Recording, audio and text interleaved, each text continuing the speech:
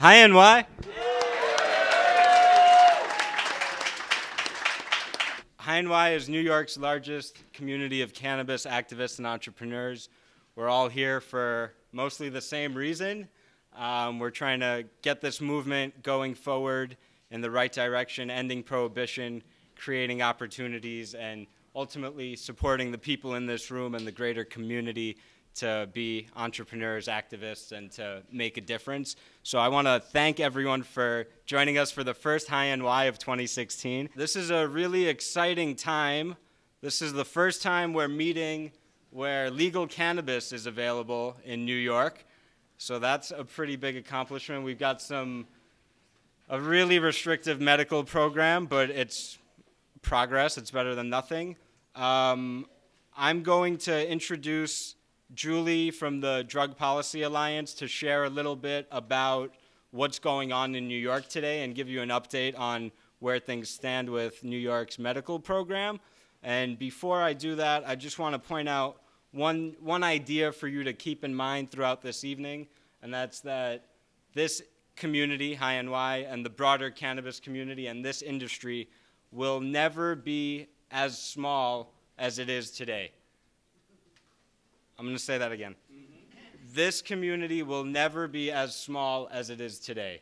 It's going to keep growing. If everyone in this room stays active and involved, it's going to keep growing. And we're, we're still at the very beginning of things, despite people like Ethan and you know, Dana and some of the other folks in the room be, having done this work for decades now. You know, we're, we're still at the birth of the legal industry. So I hope that that encourages you to really connect with the people you meet here and find out how you can collaborate and support each other as everything expands. Now, really quick reminder if you want to follow along on Twitter or Instagram, we're at highny underscore. So that's at highny underscore. So without further ado, I'm going to bring up Julie from the Drug Policy Alliance.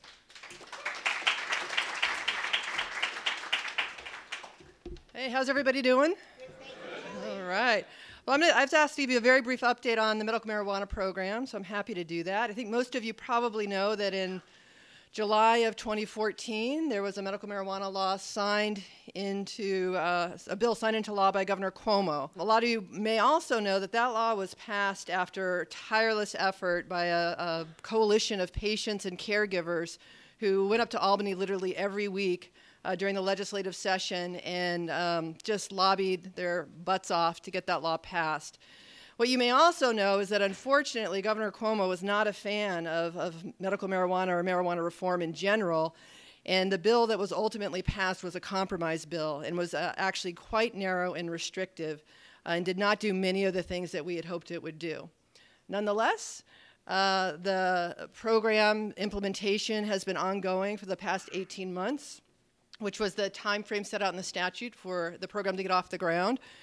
It was unfortunately not until mid October that they launched a system for uh, physicians to register. And it was not until December 23rd that they uh, launched the system for patients to register. So it was a very late start.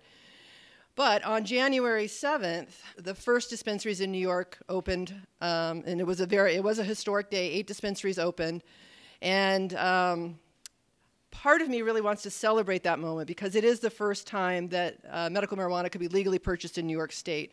But I have to tell you, it's been very hard to celebrate because very few patients have been able to get access. Now, that's not a surprise given a lot of the limitations of the program, um, but it is a concern, and it means that our fight uh, has to continue.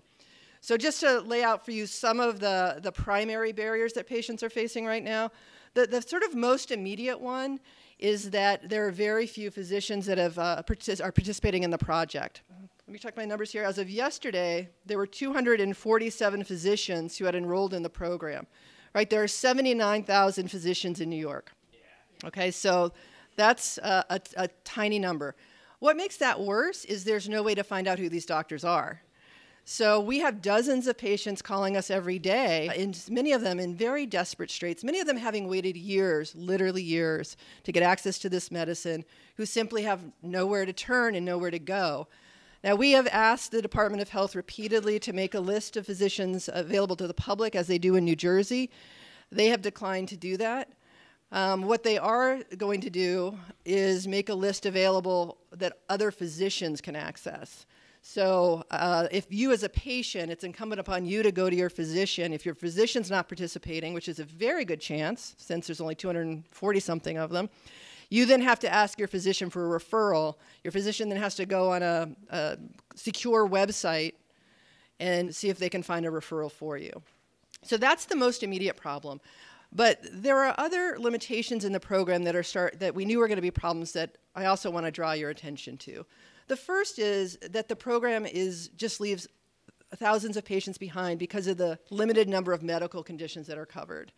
All right, there are only 10 conditions that are currently covered by the program. The commissioner had to make a determination on five additional conditions uh, by the January 7th deadline, and he there were five uh, five conditions that included PTSD, rheumatoid arthritis, Alzheimer's, and a couple of other conditions. He declined to include any of those. Okay, so this is not an administration that's looking to expand the program. The other uh, big concern from a patient access standpoint is the limited number of producers and dispensaries. The state awarded only five licenses for producers. Now, each of those producers can open four dispensaries. So that's 20 dispensaries, right, for a state of 20 million people and 54,000 square miles. Now, right now, only eight are open. But even if all 20 were open, which they, they're supposed to be by the end of the month, it means that there are huge parts of the state where patients, sick and disabled as they are, are going to have to travel sometimes an hour, hour and a half, two hours to get the medicine they need. Uh, and unfortunately, there, there's very strict restrictions on delivery, uh, so that creates a, another barrier. Now, the other thing that's emerging as, as a major concern of ours is affordability and access for low income patients. Uh, we had uh, lobbied the Department of Health uh, during the while the bill was being drafted, while it was being negotiated, and, and while the regulatory system was being laid out, to create some kind of provision for patients that couldn't afford to pay for medicine. Now, there's a couple of ways they could have handled this. They could have created incentives for the companies that were applying to win a license, saying basically, we will uh, credit your application, weigh it more, more heavily and favorably if you make provisions for low income patients. They chose not to do that. The other way they could do it is to use some of the tax revenues uh, from the sales of medical marijuana to create a charity pool. They've chosen not to do that. So that fight is another one that continues. So uh, the, there's sort of good news and bad news. Uh, I know it mostly sounds like bad news, right?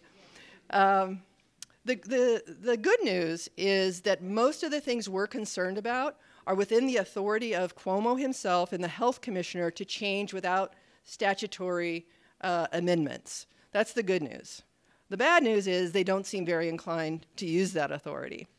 So, what that means is the role of pe people like you is ever uh, more important than it's, than it's been. We are going to be back up in Albany. Uh, the legislature is in session now um, fighting for amendments to the program to address some of these concerns and others that I've talked about. So I'm hoping that those of you who, who care about this issue and care about patients in New York will join us in that fight and get involved. The coalition that's leading this fight is called Compassionate Care New York. Um, our website is www.compassionatecareny.org, and our Facebook page is Compassionate Care NY. Uh, we have monthly campaign calls where we talk about how you can get involved and, and help us um, pass some of these amendments and move the, the program forward. The next one of those is, is next Wednesday on the 27th at 6 p.m. If you go to our Facebook page or you talk to me afterwards, I can tell you how to sign up for that. Uh, the way this bill got passed was because people like you cared enough to call the governor, to go to Albany, to meet with your elected officials, to send emails, and that's what's gonna, that's what it's going to take to make sure this program is workable. Um, we've got a long fight ahead of us, but I'm confident uh, that we can make the program successful uh, because um, because we got a law passed that was difficult to get passed and did it anyway, and we've we've we've, we've moved them on other things, so I think we can move them on this. Great. Thanks, everybody.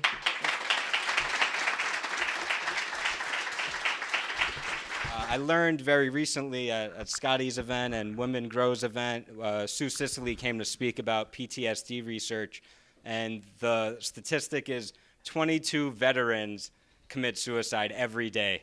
And that number is a low ball number. The real number I, I found out is closer to 55 every day because half the states don't report their numbers, and then a lot of suicides are called accidents.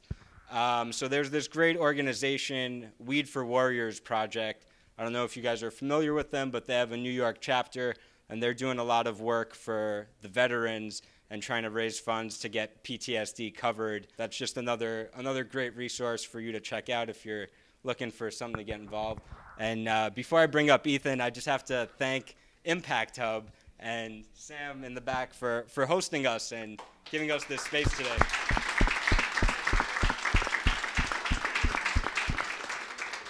This is uh, an awesome space. They have three levels of co-working space. A lot of startups work out of here that have a social justice or social enterprise angle. So if you're looking for a place to work with like-minded individuals, Sam, why don't you raise your hand so people know? You could talk to Sam and he'll be happy to get you situated. Without further ado, I'm going to bring up the man that we're all here for. Uh, Ethan Nadelmann has been fighting the good fight for decades now. He's got a JD and a PhD from Harvard. He was a Princeton professor. He's done a lot of work getting the laws to become not insane, but reasonable. And he's got a killer TED Talk. If you haven't seen it, I recommend it. Uh, and he's the founder and executive director of the Drug Policy Alliance, which is a huge national organization that does work all over the world to, to end the drug war and replace prohibition with sensible policy. So without further ado, I'd love you guys to give a big high NY welcome to Ethan Nadelmann.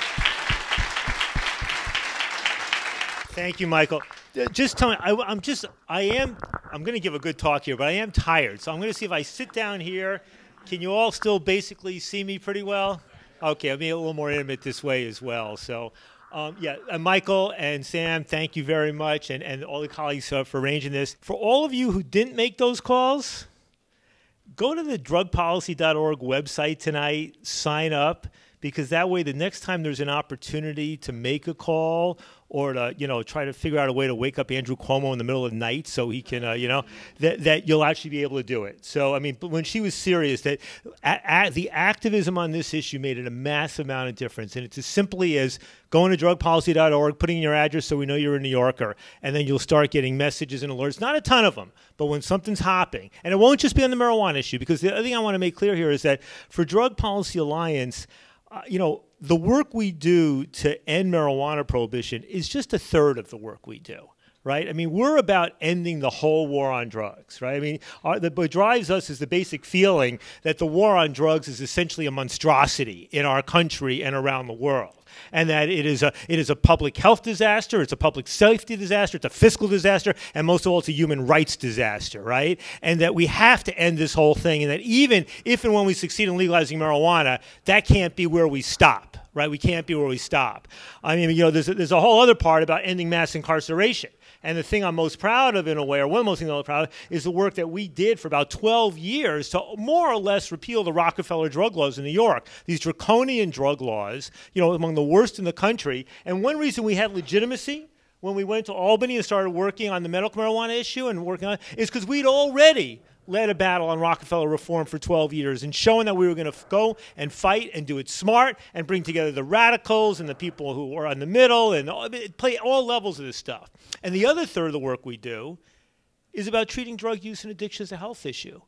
So in the 90s, when HIV and AIDS was rampaging and we weren't having needle exchange programs, stuff, we led the effort in New York and Jersey and California and other places to legalize needle exchange programs to reduce AIDS. You know, there are now, you may see on the front page of the New York Times, more people dying of an overdose involving either heroin or pharmaceutical opiates than dying in an auto accident, number one cause of accidental death in America. So we've been leading the effort for 10, 15 years to try to reduce overdose fatalities through getting 911 Good Samaritan laws passed so people can call 911 when there's an overdose, they're not getting arrested, or getting an uh, antidote, not available. So it, marijuana, part of it is about, it's a piece of what it means to end the whole war on drugs.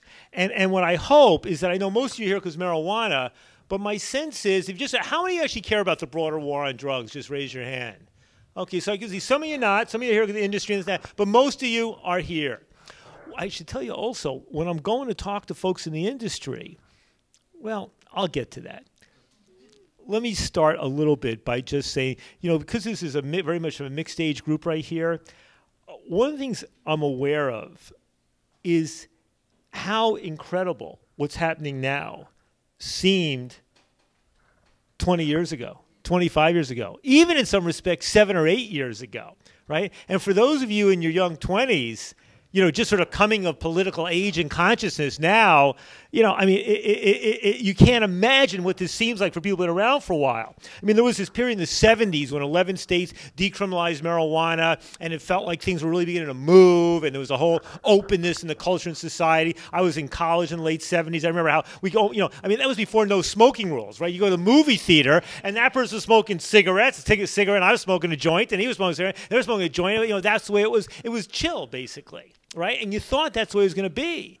And then along comes the 80s and the Reagan era and the war on drugs scare of the mid to late 80s, and like marijuana gets swept up in the war against cocaine and everything else that's going on. And uh, one of the most telling, you see support for legalizing marijuana drops from roughly 30% in the late 70s to a little over 20% in the late 80s. There's this annual survey of college freshmen that they do every year. One of the questions they say is Do you support legalizing marijuana? In 1979, 51% of college freshmen said yes. 10 years later, in 1989, Reagan years and all that, only 16% said yes.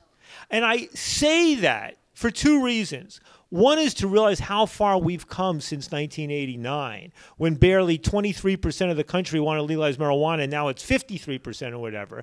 But the other thing is, is a reminder that sometimes things can go backwards. Now, there were reasons why it was easier to go backwards back then. There was a whole older generation who didn't know the difference between marijuana and heroin and all that sort of stuff, and that generation mostly died away, so they're less of a problem, right? But I mean, it, it, it, it's there, there, that fact that things can turn around is something you have to really keep in mind right? It's about one of the constant refrain I'm going to keep saying is this is not in the bag yet. We have not won this battle yet, and overconfidence is one of the greatest things we have to fear. Now, second thing I'm going to say is how do we get where we are now? Well, there's no, I can't give you a foolproof answer to how we went from 22% and those crazy drug war days of the late 80s to basically now having half the states in America having legalized medical marijuana, four states having legalized now, plus DC sort of, and this year, you know, we're going to have another half dozen coming up that I'll talk about soon. I mean, I don't know. I'm not really sure. Obviously, the generational shift right? You know, the fact that older generation dying off, younger generation coming up. But then again, there are a whole lot of people, you know, in, in the 80s who kind of grew up in a drug war world. And I'm amazed at how many people of my generation actually didn't smoke marijuana or how many are willing to be hypocritical about it or how many are willing to be opposed to these reforms, or how many are willing to have a double standard, or to buy it, you know, and all that sort of stuff, right? So I think that the generational passage was one thing. I think a key variable was medical marijuana. You know, I remember we got going on this stuff in the mid 90s, and there'd been a pioneer named Bob Randall who had passed the first wave of, of early laws and the first guy to get a federal court to allow him to get his own legal marijuana from the federal government. But it was in 96. I remember when, um, you know, local activist Dennis Peron and guys around him drafted an initiative, really short, really simple, but it was a quixotic effort. I was able to come in, and I just left the university and met George Soros and some other very rich guys, raise the money, get the campaign going, and we won the legalization of medical marijuana 20 years ago in California. It was the first time we showed this sort of nascent drug policy reform movement that we could play ball in the big leagues of American politics. And we stunned everybody. And people said, the opposition. I know what this is about. You know, you're not really about medical marijuana patients. That's all a lot of bull, right? Well, all you are is a bunch of guys who want to get high and make it legal. And, you know, my answer to that was, you know, there's some truth to that. um, but the fact of the matter is, for me and many others, we were always in this for two reasons. The first was that when it came to medical marijuana, that the persecution and prosecution of people who were really using marijuana for medical purposes struck us as the most egregious aspect of the war on marijuana, the most egregious aspect of the war on marijuana. And that if anybody deserved to be first in line to get the legal right to do this stuff, it was them. And that other things needed to be secondary to ensuring that people who really needed it for medicine got it. And quite frankly, that's where we are in New York right now. We still we're beginning to mount and build and lay the, lay the seeds for broader legalization and ending the marijuana arrest, but the moral obligation of people who really use this stuff for medicine remains paramount here and in many other places, right? I mean, when you, when you when you know the evidence, when you see the people, what they're living with, you got to do that. But meanwhile, we had reason to believe that working on medical marijuana would change the way people thought about this stuff, right? You know, that simply we would shift the imagery that when the media, and sure enough, this happened, you start talking about medical marijuana, and all of a sudden the, the, the, the stock footage that the media uses shifts from being some like 17 year old, you know, you know, with, with blonde dreadlocks and, you know, hemp leaves in his hair, you know, who's a high school dropout, you know, worrying at his, flipping out his parents, and it becomes an older person living with HIV or going through chemotherapy or MS or whatever it might be and using it as medicine, right? Those people become the face of who marijuana is, right? And the media can keep shifting there, but we we kept shifting there. You start having state legislative hearings, and they want to do the evils of marijuana, but then you do one on medical marijuana, and you're wheeling in people in their wheelchair to talk about MS and how, you know, when they smoke something, they can move and they can do it. So we humanize this thing, right? Cold hearted right wing politicians basically, you know, begin to tear up when they would have these confront these cases. So we had something, and the other thing was in the early in the period of the 90s when you still had the hysteria of the drug war. Think about the drug war of the late 80s in america as like mccarthyism on steroids right? I mean grounded in real fears about drugs coming in the country and about drug dealers and drug addicts but the response being so monumentally inappropriate and indecent compared to the nature of the problem and the response that it deserved right? By the 90s people were beginning to have some questions but the two issues they, they were willing to peel away from the drug war on one was that if you really use marijuana as medicine with a doctor recommendation, you should be able to get it, right? And that's how we won that. The second one was that if you have a drug addiction and you get picked up, you should get a chance for treatment a couple times instead of being sent to jail. We won another initiative about that in Arizona. So look, we won that one. And then we started looking around. We went a whole bunch more. Between 98 and 2000, we identified a bunch of other states Washington, Oregon, Alaska, Colorado, Nevada, and Maine. Right? We did the polling. We saw, we drafted the initiatives. We won those things. We won seven in a row. Then Hawaii becomes the first state to legalize through the legislative system. We got a wave. And then ever since that time, my organization, Marijuana Policy Project, local activists in Orange have done this where we've gone to the point where we are now. Right? We know now that 70% more, maybe 80%, depending on, you know, of Americans think marijuana should be legal for medical purposes, right? Um, we also know that notwithstanding that overwhelming support, there's still 25 states that haven't legalized it, even though a majority would favor it, and even Mississippi at this point, right? even Mississippi, even Mississippi, you know. You know, it's notable that even when we had 22 states as of a few years ago, which translates into 44 U.S. senators out of 100, we couldn't get a single hearing. We could barely get a bill in the U.S. Senate, even though we had over two thirds support and 22 states. So the, the resistance of elected officials to going along with this stuff was really monumental. Now, there are other things, of course, that help explain the evolution. Part of it was the fact that we've now had three presidents in a row who, I mean, the first one said he didn't inhale.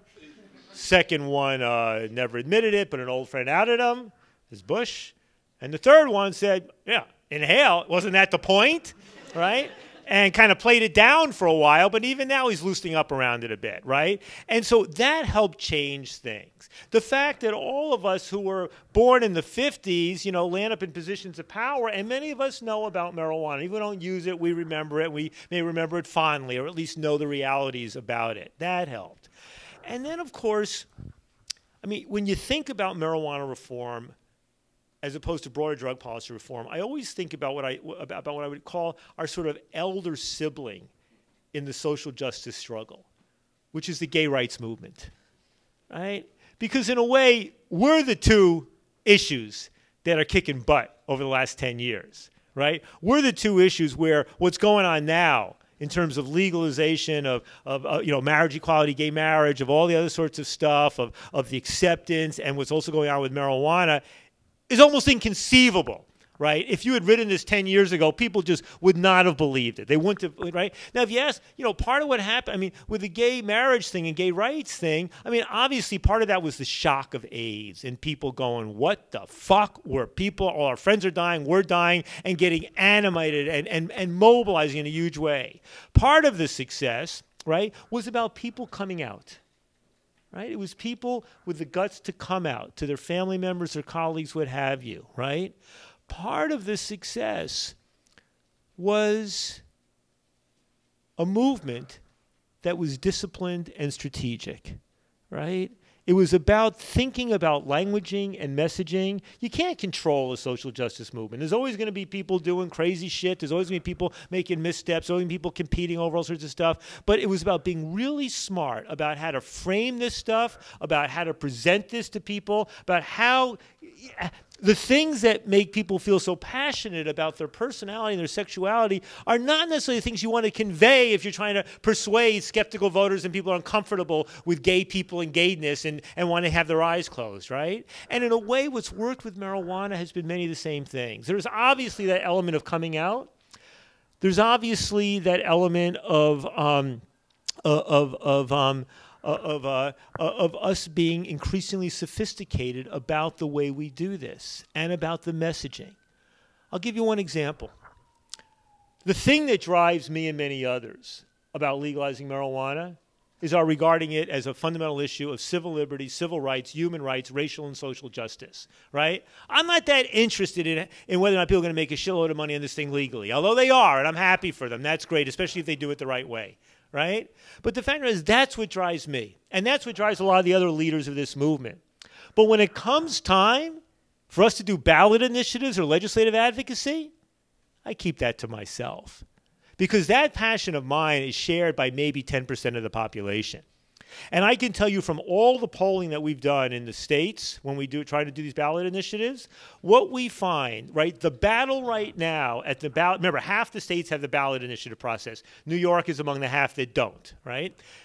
What we consistently find is that for those people in the middle, think the soccer mom who maybe smoked weed in college, but she's got teenagers now, she's nervous about them. Think the people who never use marijuana, but maybe they got a few friends who do. Think you know, all the people who are, eh, I don't know, I was always against this, now I'm going to think about it.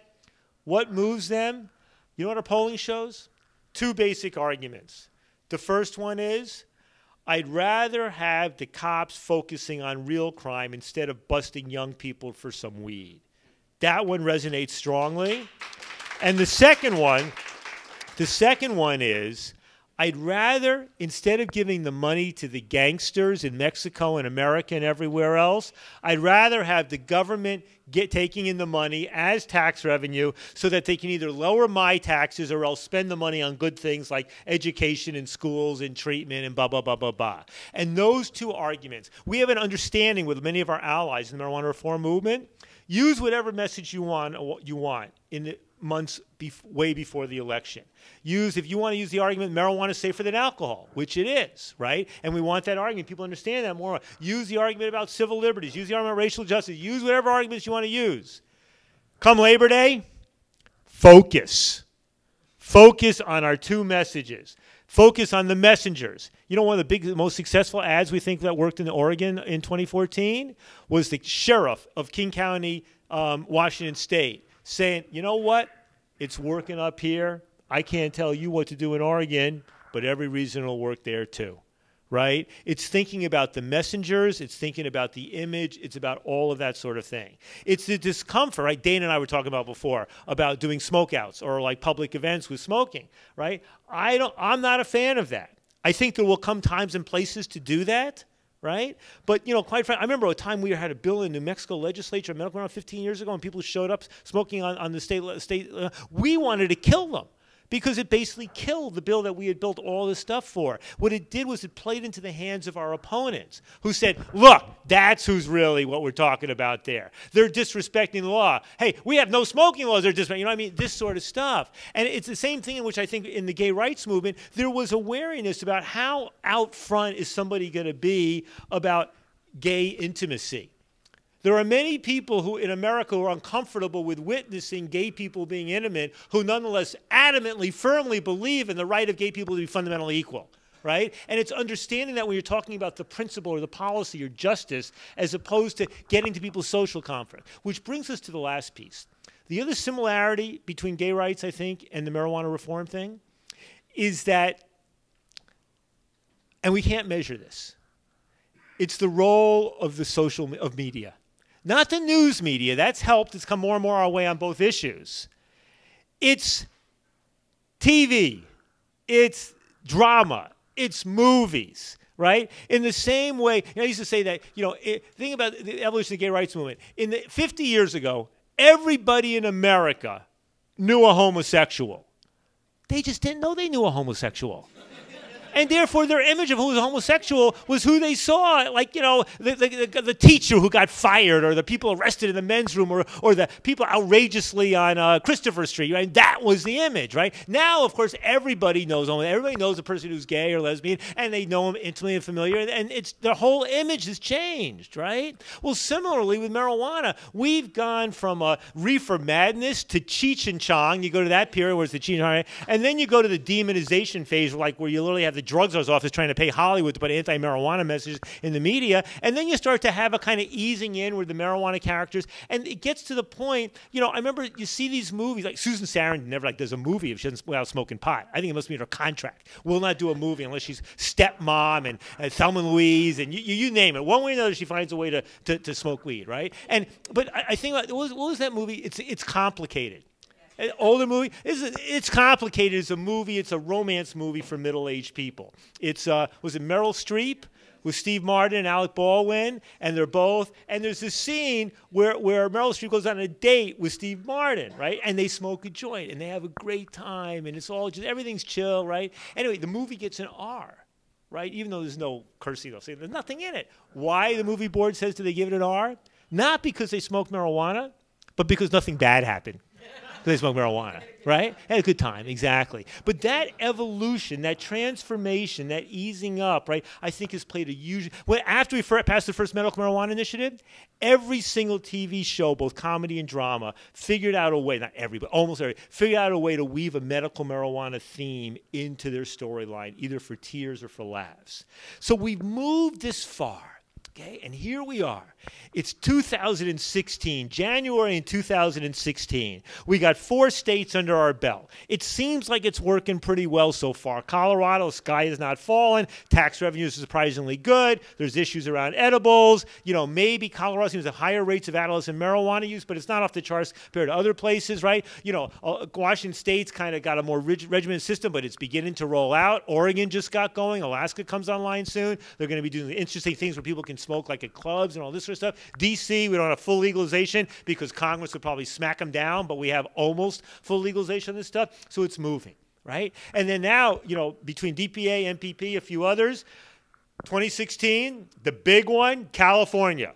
California, and then there's going to be Nevada, and there's going to be Arizona, and Maine, and Massachusetts, and we'll see if Michigan maybe pops up as well. And medical, Florida's going to come back again, and I'm pretty sure Missouri's going to have medical. Arkansas might, maybe one of the Dakotas, and there may be an effort in Ohio to get medical. Maybe, I don't, we'll see what happens in Ohio. That's a funny story, right? You know, so we're going to have somewhere between five and six legalization issues on the ballot this year. We're going to have somewhere between two and four or five medical initiatives on the ballot. We got to win California and at least a majority of the rest, right? And I'm worried. I'm worried. Now, California, I can tell you, I mean, that's the one that's been DPA's priority, right? And drug, my organization, Drug Policy Alliance. I mean, that has been one. I've never been in a coalition that was that intense and that, you know, zigzagging and roller coaster. Fortunately, it's in a great place right now.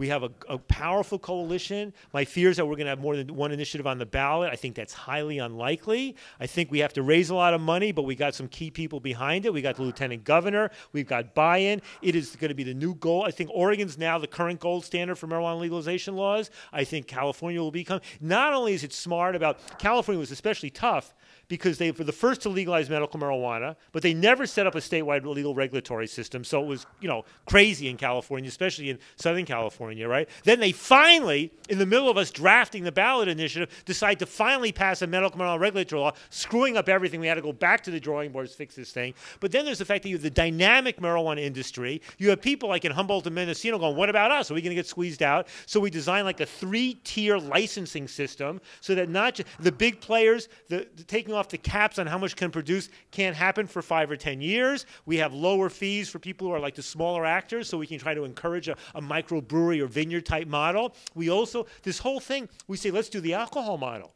But if you do the alcohol model, it's almost impossible to hire somebody who's ever had a felony conviction.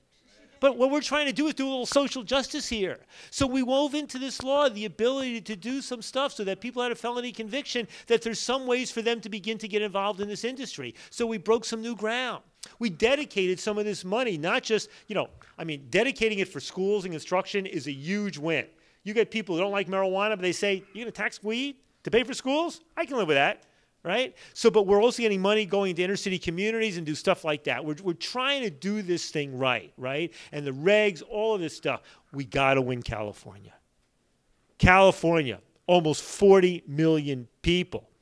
California, that all of the four states, Washington, Colorado, Oregon, and what I think the total population of all four states is what about 12 million, 12, 13 million? We're going to more than triple it just with California. When I go down to Mexico, because we work internationally as well. And ask people, what's it going to take to get things moving down here? They say, when you legalize weed in California. I say, well, what about like Colorado, Washington? That help. Give us California. What about Oregon and Alaska? That help. Give us California. If you could do Texas, that would be great too. But give us California, right? It, it, the California winning will resonate right throughout Latin America, the Caribbean, all of that. It will have a global impact, right? Now, the others, Nevada, what's the figure there? The polling's pretty decent there, but Sheldon Adelson, that's home for him. Sheldon Adelson, the right wing billionaire, right, who's like the third richest guy in America or something. You know, I mean, quite frankly, that guy dropped $5 million into Florida to oppose the medical marijuana initiative. Florida is the only state where you need 60% to win an initiative. It landed up only getting 57%, probably because Shelley put his five million bucks in there, you know, and he's not he doesn't like marijuana, and he's got worry about casino licenses, and it gets complicated if you're in a state where people can smoke weed and all this, but you know, and meanwhile you got to get so we got to watch out there. Arizona, I worry about the polling in Arizona. And I heard that the owner or the owner's wife of the Diamondbacks, the baseball team, has already called together a meeting uh, of people to oppose this. We could have a problem. Maine, we almost had two campaigns going in Maine, two different organizations with very similar initiatives. Unfortunately, DPA and another guy were able to use some carrots and sticks to get one initiative on the ballot there. Maine, I think we should have a decent shot. We'll see. Massachusetts, let's hope so, right? We'll see. Medical, I think Florida, if Hale's going to go back again, I don't think he will this time. Missouri polls well. But it's not in the bag, and we're almost inevitably going to have some defeats this coming year right? Now, the other thing that's going on is what happened in Ohio. You know about Ohio? Those of you don't know, Ohio, I got a call about over a year ago. Can DPA help these guys with a ma- ma- initiative in Ohio? And we told, they told us what they had in mind. And we said, look, we'll help you make this as good an initiative as possible, but you can't use our help to say that we endorsed it. And the reason we didn't want to endorse it is what they did is they got 10 investors, each to put up two and a half million bucks. And the initiative is very good in terms of a thousand licenses and protecting patients and allowing home grow and all this stuff. But they wrote in that only the 10 investors, or technically the properties they own, would be allowed to grow marijuana wholesale in perpetuity. This would be in the state constitution. So basically, people gagged on that. And the uh, opposition campaign was co led by anti marijuana people and pro marijuana legalization people who were disgusted by that model. And I basically was out there saying we cannot endorse something with this model. A win in Ohio? Could you imagine legalization winning in Ohio? Imagine what that would do the presidential debates. Imagine, I mean, the national energy. In that sense, it would have been amazing. But quite frankly, to have shown that that model, that type of over the top greed would be the right way, would have been a bad thing. And in that sense, I was ambivalent. I kind of part of, well, there was another initiative on the ballot to invalidate any initiative that had an oligopoly or uh, monopoly in it. So I was sort of hoping that both initiatives would win, that they would vote to legalize and vote to oppose the oligopoly, and then nobody would know what would happen. We get stuck in the courts for years. Meanwhile, 2016, all the presidential candidates are there, and we could say, hey, Ohioans, Ohio of all places, voted for it. Anyway, that thing went down, the other one won, so that's dead. But we have this issue now with the industry, right? And it's a real dilemma for me you know, because the industry, I find myself going and talking to industry meetings. And as I saw a flyer out there, the next speech I'm going to give is going to be in San Francisco March 3rd for an industry event, or it's a debate, I think. And I'm saying to these guys, you know what? Much of the progress we had it was because me and one or two other guys raised money from a lot of billionaires and half a billionaires like George Soros and Peter Lewis and John Sperling and George Zimmer and a bunch of others. But you know what? Peter Lewis, the number one funder of marijuana legalization, died a couple years ago. And John Sperling died last year. And, you know, another guy, Bob Wilson, people don't know, he passed away a couple years ago. And George Soros, my main man and major backer on DPA, you know, a third of DPA's funding. But George is like, Ethan, Marijuana, it's in the bag. Let's move on to other issues. The rest of the drug war, you care about the other stuff, right? And there's a sense in which the industry is going, man, it's like manna falling from heaven. Gold is in the streets, right? And we didn't have to spend a penny to get it here. We got a lot of good do-gooders like Nadelmann and Kampia and Boyd and a few other guys bringing all the money in. They're creating these wonderful profit opportunities for us. God, that's nice of them. Who are they again? But we're going to make some money, right? And then I go and say, hey, guys, I'm your fucking daddy. And you don't even know it. And it's like, are you going to step up now? And they look at me and go, what's in it for me? And I go, I mean, there's a whole, if this stuff doesn't keep going, if we had lost Oregon and Alaska, which was quite close in 2014, that would have cost the industry collectively tens or hundreds of millions of dollars. Everything would have backed up. All of a sudden, the White House would have been pretty good, would have been backing up. All of a sudden, momentum would have been would have slowed. All of a sudden, our opposition would have been emboldened. Think big picture. But there is no big picture thinking in the industry basically now right? I go to these, go to these I say, you guys stand at a unique intersection in American history. Never before has a movement for social, a movement driven, you know, primarily by people who cared about social justice and civil liberties and human rights and racial justice, landed up creating a legal market that's going to be worth tens of billions of dollars in short time. Never before. If you look at our fellow social justice movements, you look at gay rights, women rights, civil rights, the abolition of slavery, major economic consequences, but not in creating brand new legal markets in the way that we are doing. The closest analogy, right, is alcohol prohibition. We have alcohol prohibition, but that essentially just re-legalized something that had been legal just 15 years before, right? So you guys have a special obligation to understand what you're part of, where you came from, what this is about. You have some obligation to do this right, not just because that's going to be good business, but do it right because there is some element of more. It's a moral uh, movement that got us where we are now. This is not like tech right? This is not like other things, not like the energy. It's not this and that. It's something different. And 70, 80% of the people in the audience look at me and go, What the fuck is he talking about? They just don't get it. It's like they're hustling, they're trying to make a little money, you know? That's what they're trying to do. And then I say, Look, quite frankly, I don't want to meet most of you. I only want to meet a few of you. And the only ones of you I want to meet and spend time with are those of you who meet, who meet two criteria the first is that you're going to make a shitload of money in this industry and do so in an ethical way. And the second is that you either have or will acquire a social justice consciousness so that you'll care about the bigger issues for which we're fighting. And fortunately, fortunately, fortunately, more people are coming up.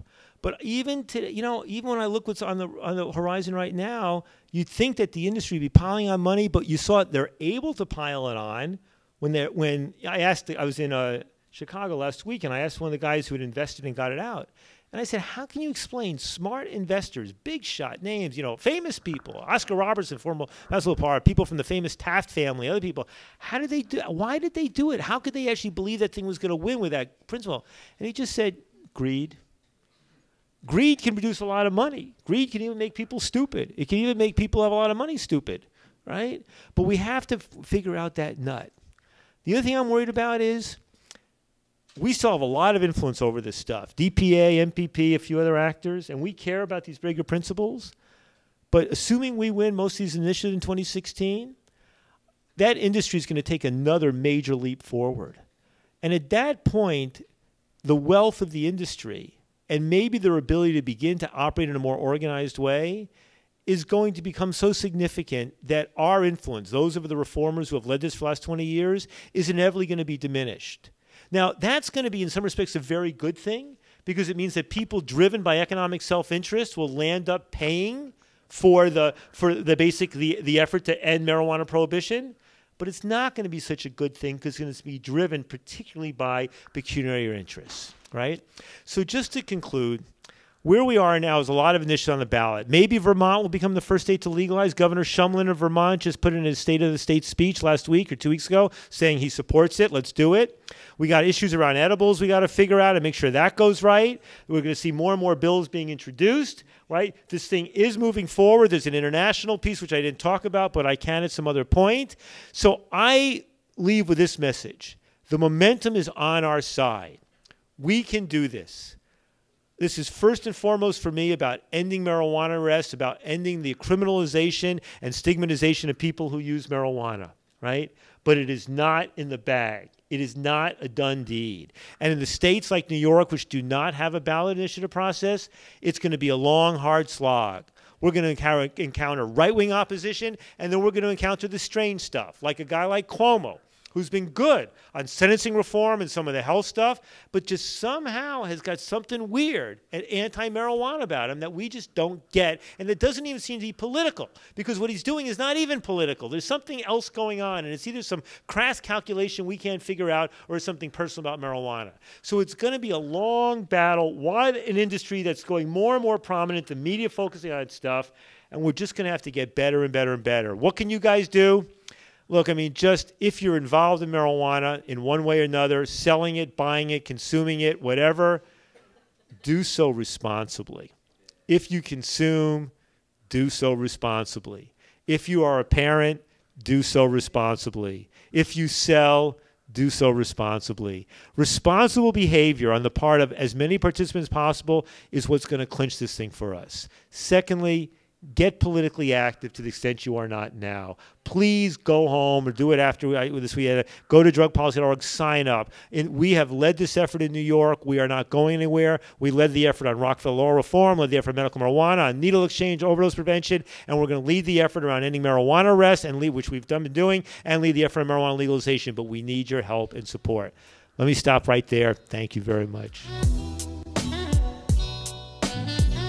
Don't assume it's in the bag, right? Everybody feels like cannabis legalization in America is inevitable. They're beginning to think it's just gonna, marijuana is just gonna legalize itself. The people looking at money in making to make money in this are just counting on all the activists to just keep doing what they're doing without thinking where the money is coming from to make that happen. And the activists sometimes are getting so overconfident that they think we can win anything. So I think we have to keep in mind we're in a very real very tough political battle, and it is far from over.